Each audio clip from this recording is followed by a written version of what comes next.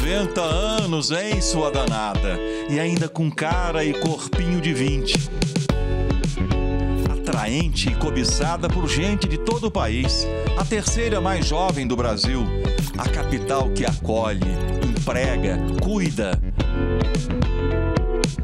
Um pedaço de Minas, outro de São Paulo, uma lasca generosa do sul e do norte. Dos vizinhos do centro-oeste uma fatia imensa do Nordeste. A doce namorada que todo mundo queria ter.